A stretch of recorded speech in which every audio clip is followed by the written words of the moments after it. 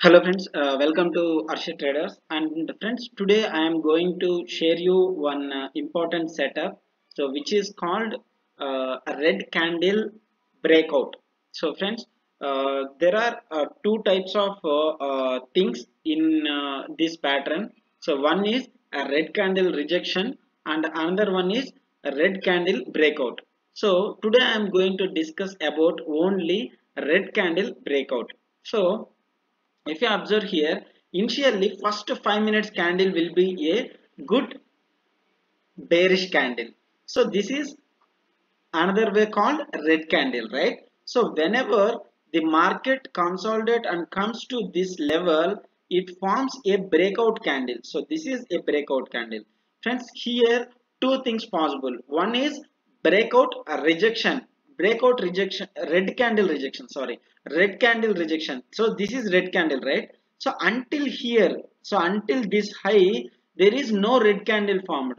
But at this position only red candle formed. This is due to red candle day high profit and all comes at a time.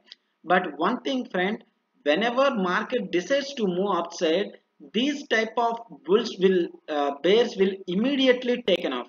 So whenever this uh, red candle breakout happens don't look for downside trades. So this is going to make an upside only. So this is an up move and see the retest happened so so if you see here so exactly on the same red candle high retest also happened here so retest and moved up. And if you observe here so market closes in a uh, almost from here to here it's like nearly 70 points. So uh, this is how these red candle breakout and rejections will uh, happen. So today we got a red candle breakout happened so when we need to take trade in this? So here clearly you need to observe. Every time i will tell you leave the breakout area. So if you give get a successful bearish candle or a successful bullish candle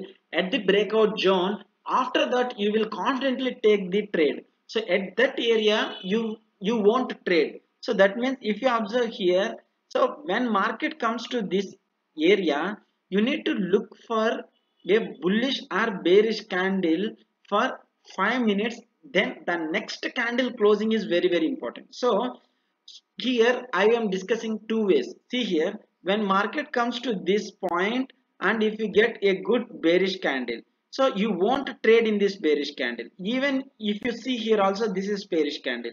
You won't take position here also. Next candle is very very important. Here 5 minutes you need to wait. So if market closes below to this candle with a bearish candle here then it is going to be a good successful entry. You got a good successful entry. And here if you observe here this bearish candle formed. Okay next also it need to be form a bearish candle.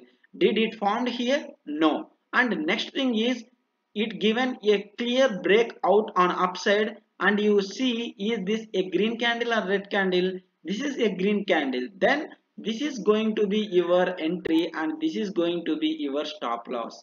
So this is how you need to take a perfect entry on green red candle breakouts red candle rejection days. Okay? So thank you friends. Thank you very much